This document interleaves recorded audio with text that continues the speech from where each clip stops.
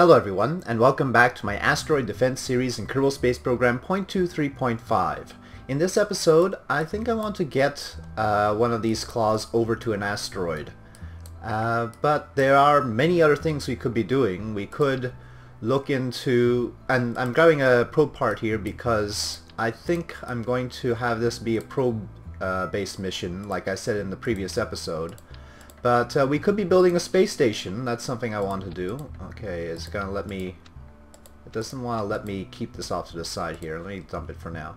Anyway, uh, so we could build a space station. I want to do that in this series because in the previous stock series I did, I didn't build a space station. I also didn't do any uh, unmanned missions, so this will be my first unmanned mission in stock K uh, KSP for quite a long time. Um, yep, let me just dump this and... Oh yes, I have to actually bring it like this. Uh, right. Okay, I think one is hidden or something, is it? Yeah.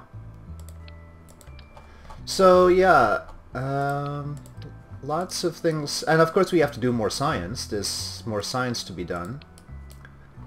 So, plenty of considerations. In fact, well, I guess we haven't unlocked graviolis yet. Favorite thing, of course.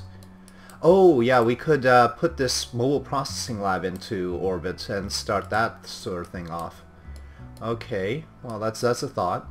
But let's let's get a a claw over to that that one asteroid I was supposed to intercept, but decided not to. I'm really irritated with that one, so I wanna I wanna claw it. Uh, hmm. I think these tanks would look better if we put them on the probe. Okay, well we'll need to create some space for this. Um,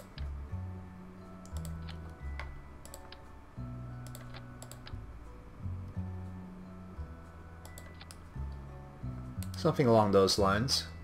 Uh, this this one doesn't have to be there. How about a battery? Uh, bigger battery. Oop, oop. Oh, we shouldn't have been on angles. Uh, on. Uh, I don't even know what the other snap is called. So angles. Yeah, this I always call this one angle snap. I don't know what I call the other one, but okay. So there's that. So we don't have the bigger batteries, unfortunately. Um, but on the bright side, we're not intending to bring this claw back down at all, so we don't really need to separate the service module stage. So we can do something like this.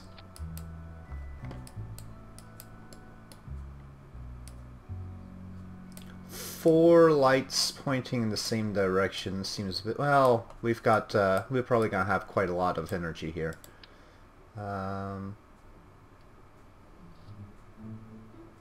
Yeah, let's put these down here. Not six of them, though.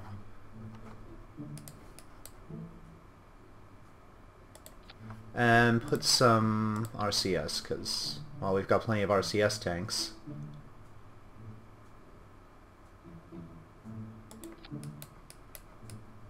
Okay.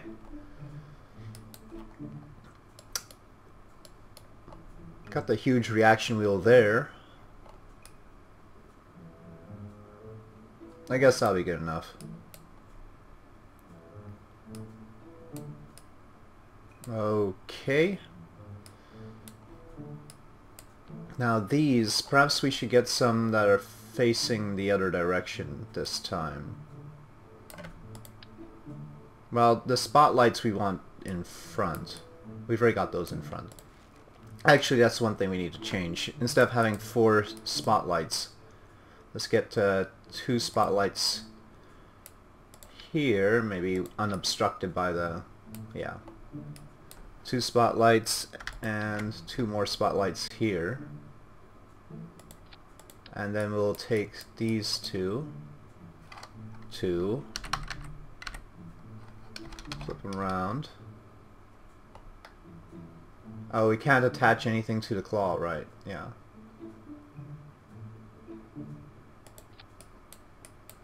And then we'll have both of them be like reversing each other. Yeah. Let's turn on the lights and see how that goes. It's on. Um,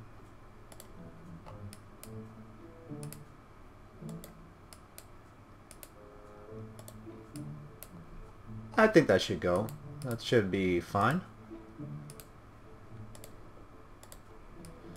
Okay, so that would be a probe, but we could do with some communication ability. Can't really stick it on that part. Let's put this on though. Uh, Alright, so we can communicate, so maybe we should bring some science, but I don't think there's that much space. And we do want to keep this lean and mean so that we can actually get to the asteroid. I'm going to take these batteries off, maybe? Yeah, you can't go wrong with batteries. Okay, I think that's our mission. Uh, we just want to rendezvous with an asteroid and maybe hopefully push it around a little bit. That's the sum total of the whole thing. And I don't think there's any other part we could possibly need for that purpose. Alright, so this will be 83. Let's save it. Make sure staging is okay. Staging is reasonably okay. And yeah, let's take this out to the launch pad. Alright, here we go. Let's get the lights on. Uh, it's gonna be in the dark, but I think it'll be alright. So we've got our lights, and we've got a good rocket. Now remember, the asteroid we're targeting is in interplanetary space, so there's no point timing it or anything like that. Uh, trying to get the right phase angle will probably take uh, many, many uh, years to uh, get and because the orbits of Kerbin and the asteroid are so close and yeah we're not gonna wait for that so uh, everything is a go let's launch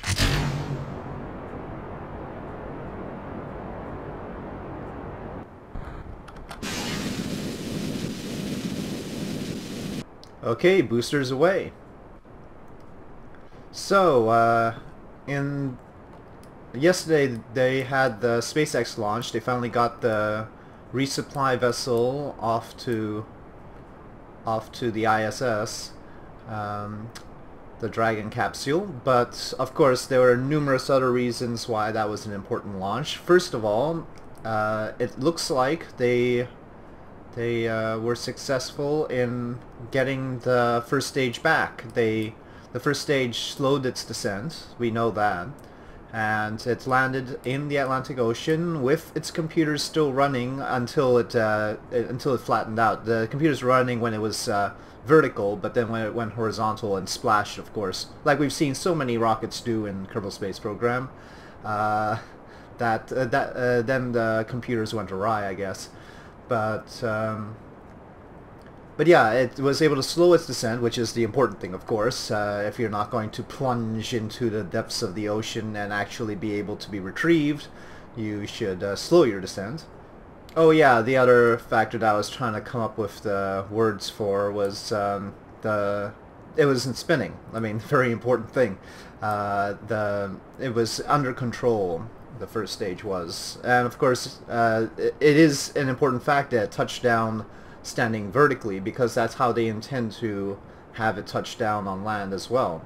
Uh, they want to use those big lander legs to make sure it uh, touches down safely vertically. So, and it looks like it did, it did do that. So, yeah, SpaceX may have a retrievable first stage. And that should make them uh, way way better than their competitors in terms of pricing. If they if they really can retrieve that uh, first stage, uh, they've basically got their competitors beat as far as being able to launch satellites into space, assuming that the first stage is then uh, totally reusable. Of course, uh, we saw with the space shuttle engines that even though we brought them back, they required a lot of maintenance and uh, time and money in order to get them into working order again. Uh, part of that was because of the way they were put into the space shuttle. Okay, uh, uh, oh, oh, oh, oh, oh. I hate when this thing is down. Jeez. Okay. Uh, yeah, because uh, they basically had to remove the entire back end of the space shuttle to get them out and serviceable. So that was a thing, and internally they were designed in a not so not so easy to maintain way. Okay, uh, that is not the one, was it? I think it was... Oh, hey, where did it go? I think it was this one. Well, let's just see. Uh, hmm. What? What? Why did it seem like... Okay, there's this other one. I don't know. Uh, I think once we uh, get this into orbit, I'll have to check with the tracking station to see which one we're actually going after. Okay, uh, so... Here we are, red-nosed rocket. And... Should be good enough now, right? Wait a minute. Oh, that's this is this is the asteroids. Finally, I get to see the bloody asteroid coming in. Okay, so this asteroid is coming in, whichever one it is. This uh, Wharf Wharf 580, but it's not coming in anytime soon.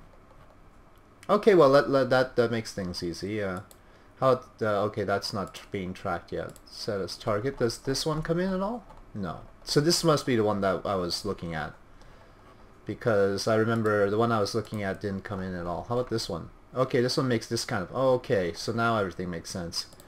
Uh, let's let's see this one. Um, this one looks like it impacts. Okay, how long before that happens? 43 days before it escapes. Uh, doesn't really give uh, entry time. Though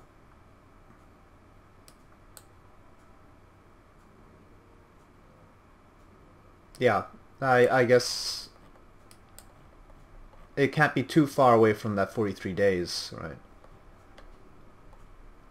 I think. Anyway, uh, it looks like it's pretty far off right now. Well, this one looks like it's even further off and it's in 17 days. Hmm. But at least it's got periapsis. Ooh, this one doesn't. 52 days. Okay, enough of that. I think the one I was going for was... Because I know, know it was within Kerbin's orbit. And it wasn't hitting Kerbin. That was our irritation with it. So, I think it's that one. Let's try and plot to intercept that one. Let me just make sure that our orbit is oriented right. Okay. So we need to burn, let's say from here for now. Try and get an intercept point with our target. So it's over there. Yeah, this, this looks like the right one. If I remember correctly, we had to tilt like this to get to it.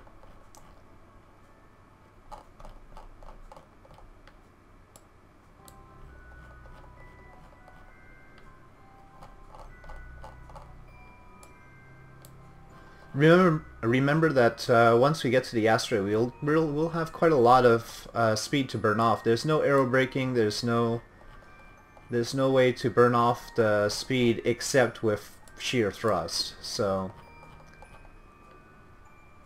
it looks like we've actually reversed. Okay, let's try and fix our inclination. Okay. I'm trying to use the mouse wheel to do fine adjustments on this, but it's it's tough sometimes.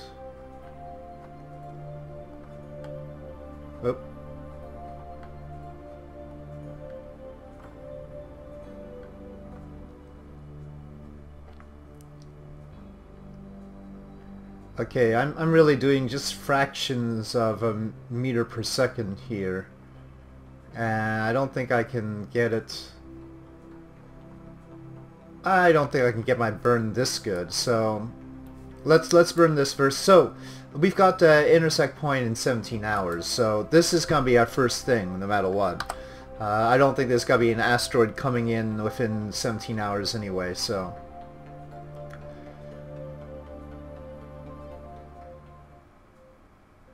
Well, we're running out of electric charge. Do I still have the solar panels action group? Did I ever have the solar panels action grouped? Let me see. No, I didn't. Let's absolute time there. And try and settle this guy down. Oh, we can just time warp, I think.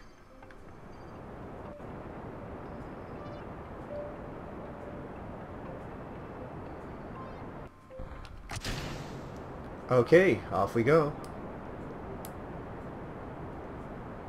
Hmm. Seems like in this direction we've actually already passed the... And we were continuing to pass the intended trajectory. So let me recalculate here. Let's see, how far are we away from target. Uh, 2,400 kilometers now. Let's add a maneuver to fix that. Okay, well, it looks like we've passed it. I want to keep it. I think uh, it allows you to select to keep it, but I'm just going to do it now. Okay, 312, uh, 20 kilometers roughly. That's still not good enough. Let's get another tweak in. Before we get into interplanetary space. Well, I certainly see why they added the scroll wheel thing.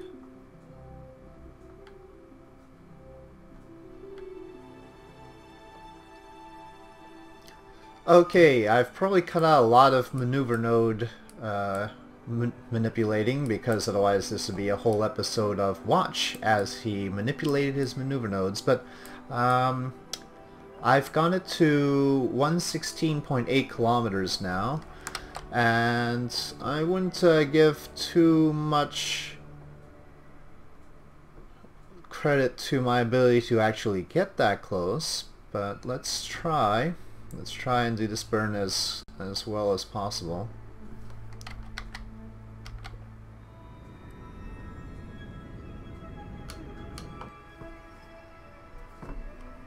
not giving me a green check mark. It's uh, indecisive about Okay.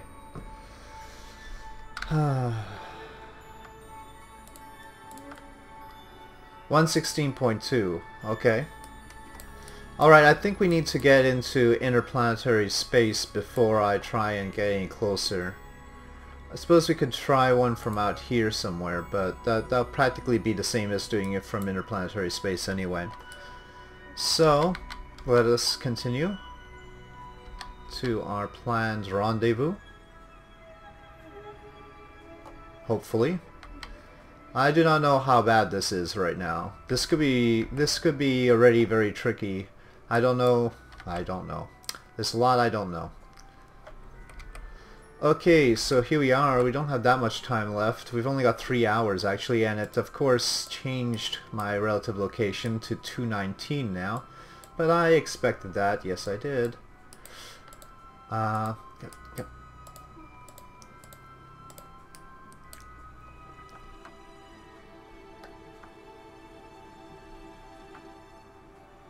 So I can get to 115 it looks like, but I'm having trouble getting any closer than that right now.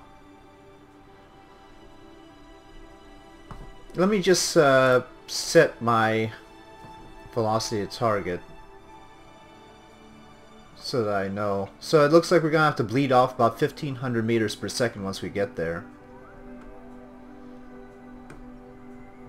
But the whole getting there part that's a little bit tricky.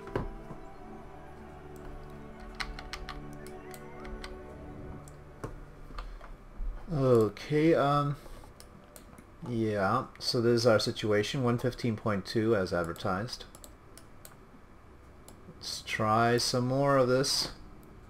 This is an iterative process, and uh, you know how much computers like iterative processes. Uh, so, I mean, it doesn't look like uh, changing inclination helps at all.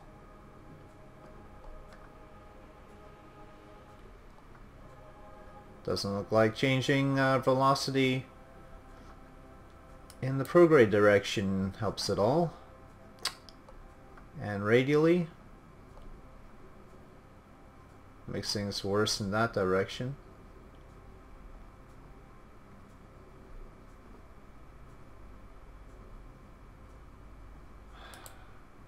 I, I really don't see it. Of course, uh, my main intention was to intercept one once it get in, got into Kerbin space, but I guess that's not what we're doing here. What I'm going to do, I guess, is I guess this is as close as I can get it, and then I'm going to uh, adjust my relative velocity with the target and try and get myself into it I don't know if this is close enough to do that. 115 kilometers is not close at all. Really. But I don't see too much of a choice here.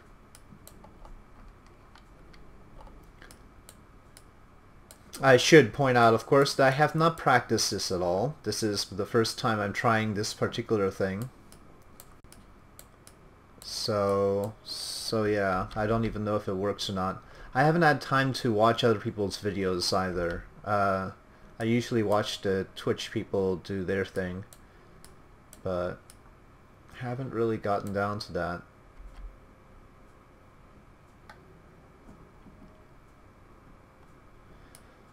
So maybe there's some technique that I'm missing here. That looks pretty far off actually. Hmm. You can see the gap there. That's the 115 kilometers right there. Uh, though it, uh, it's a little bit deceptive because uh, well, but that's relative velocity. Yeah. So we cross the orbits, but that's not that's not reality. hmm. We're a bit ahead of the target, you see. Anyway, yeah, I'm going to just uh, get rid of this uh, 1489.6 meters per second, and then I'll worry about the rest. But I need to make sure we do that. Well, this is why I didn't send a Kerbal out here.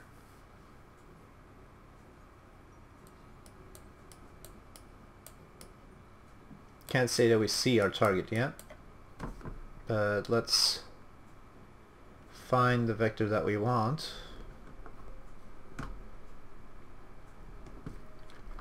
Basically, our target is somewhere out there.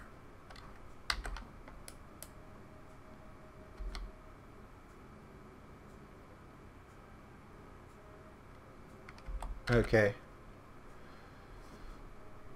I think we'll try and uh, burn right now.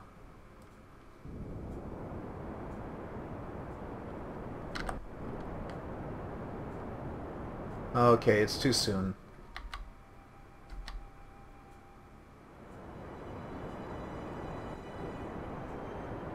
This is an interesting thing. As we pass each intercept point, not uh, the closest point, it gives us a new one. And it's always a little bit further away. Very disconcerting.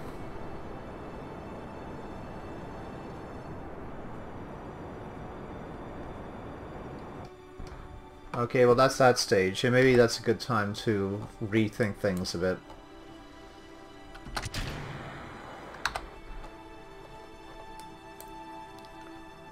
So... So yeah, this is our situation. And I bet I can't even click on my orbit anymore. No, it doesn't like me in my orbit. Let's let's just do the thing where I uh, turn towards the target maybe?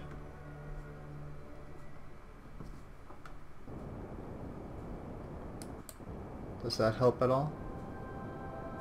Tough to say really. with the way that this thing is adjusting. Well, I like the separation seems to be going down. That's certainly closer than I've seen it go before. So you can see I'm trying to bring my prograde vector in line with the target, which is the pink one.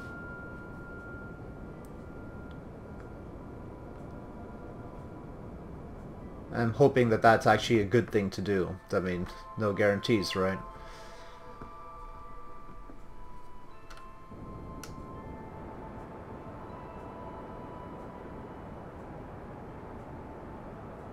No, that's not a good thing to do.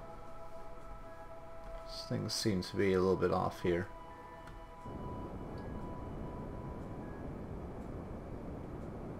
It's tough to say though. Okay, well I think it's it's actually easy to say at this point. Uh, let's let's wait until we hit this one, and there's also this one. So uh, let's wait until we hit this intercept, and then I'm going to burn more relative velocity.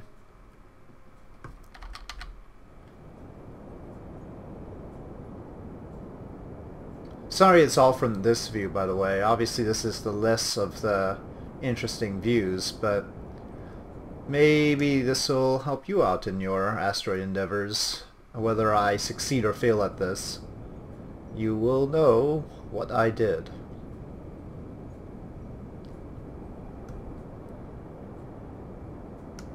Okay, I'm gonna start uh, setting 300 meters per second as uh, as a limit. And now we're going to be 3.4 kilometers, and that's that's very good. I'm I'm getting happier now.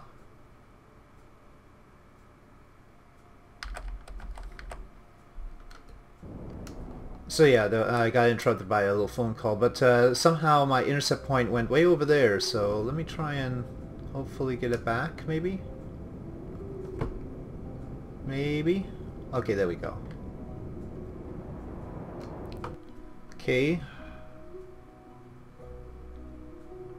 see now. Probably lose it again.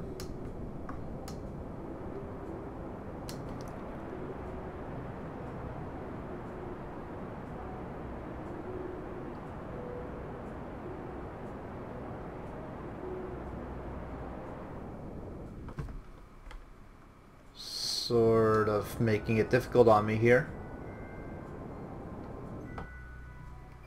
Something over there.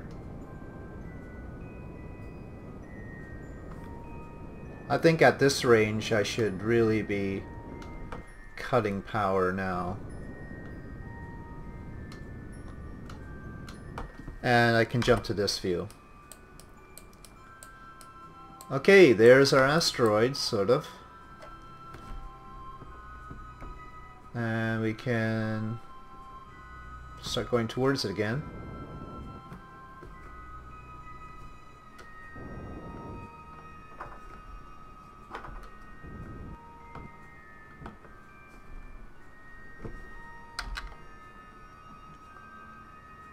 Separation zero kilometers in three minutes. That sounds interesting.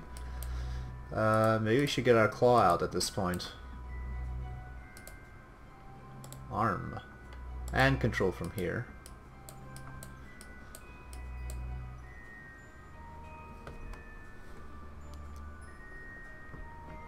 Let's see. Okay, our monopropellant gives us plenty of control. That's fine.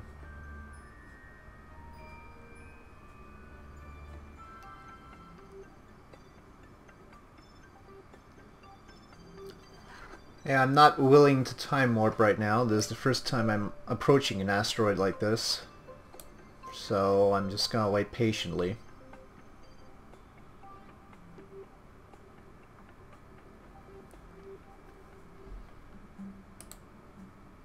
Ooh, uh, so this one has the targeted center of mass thing, so I want to do that. Or not? Okay, well, I don't like it that uh, sort of graded out, but alright. Hmm.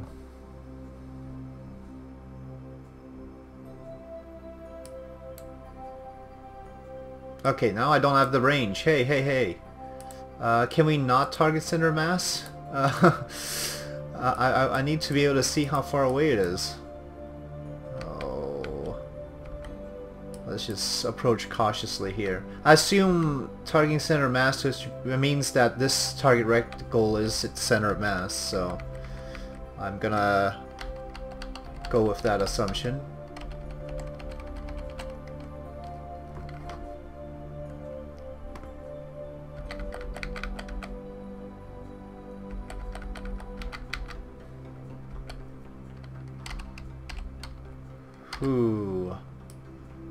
Tough to say though.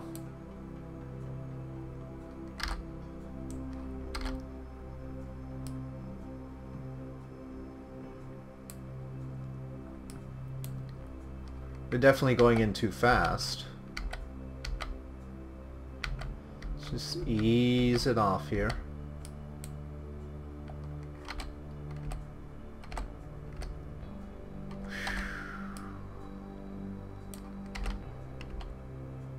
Doesn't quite want to get right where I want it to be. Let me just quickly jump. Uh, what kind of class? Oh, I can't even see whatever. Okay, I can't uh, focus on that view now. I don't know, I don't remember which class it is. I think it's class C. So it's a mid-range asteroid.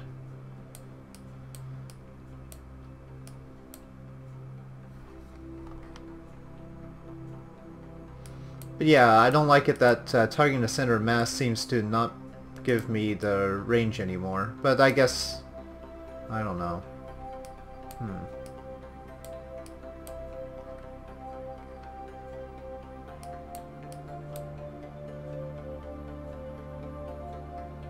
I hope that surface is as smooth as it looks.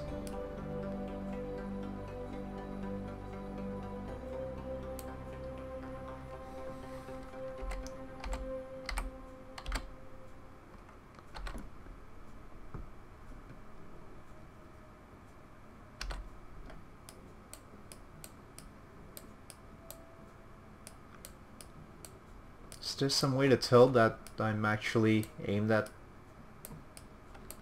the right spot. Okay, well, I need to slow down a little bit. I hope 0.1 meters per second is slow enough for this thing.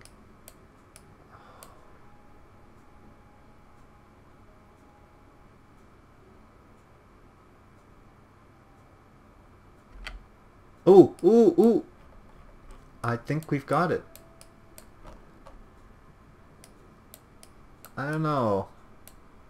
I think we've got it. Alright. We have made contact, folks. We are now a 94-ton vessel. okay. Um, that's interesting. Uh, actually, let's let's do this thing. Let's calculate our delta V based on that. Calculators out. Uh, there's two stages on this. There's this stage, which currently has that much fuel, and then there's also a mini stage, which has that much. So this is how much fuel. This is 1.8 tons worth of fuel. And the ISP of this is 390. So uh, 1.8 tons, and we what, what, what did we say for the whole thing? 94 tons. Wow. So it's 94 divided by 92.2 take the natural logarithm of that multiply by the ISP and 9.81 and this stage has a delta V of 74 so not including the RCS we're talking about 115 meters per second worth of delta V Hmm. What could we do with 115? Could we possibly bring this asteroid into a Kerbin encounter with 115? Is that possible? Tough to say. Um, uh, well, I guess we can set our target as Kerbin. Says target. Add maneuver.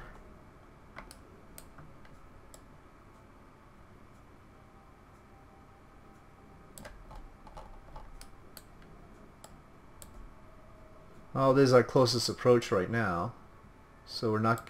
Oh, look at that. Hey! Oh, the, that's 260. Wow. But that's pretty close. That's... We don't need to do it right here. Perhaps there's a more efficient way of doing it somewhere else. Um, let's see, our our orbits with uh, Kerbin are pretty close. This thing will eventually smash into Kerbin, I'm sure. But... Actually, maybe we should wait for that, huh?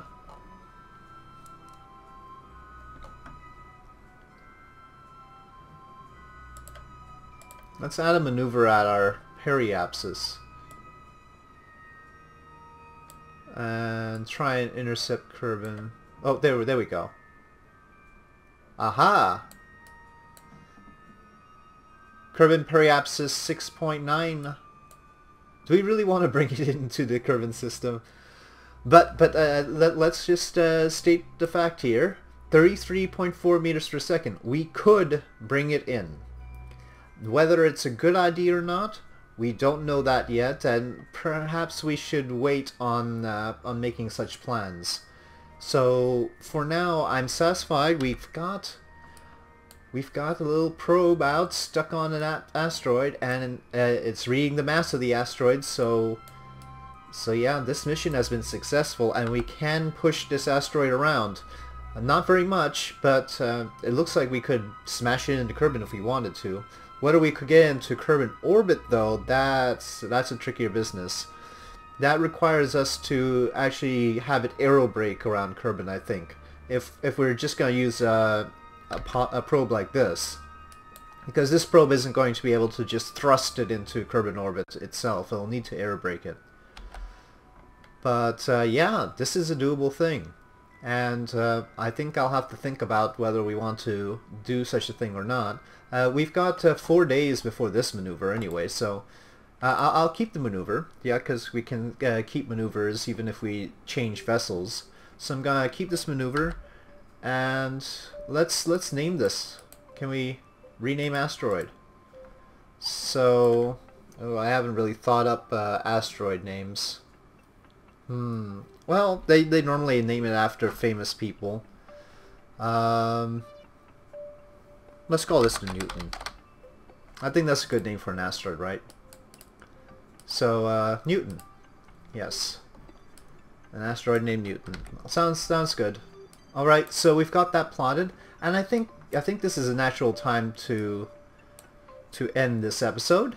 So thank you for watching. If you enjoyed this video, please do press like. If you have any comments or suggestions, please leave them... Oh, hold on. I'm curious about what functionality we have. Anyway, uh, yeah, yeah. If you have any comment suggestions, please leave them in the comment section below, and I'll see you next time.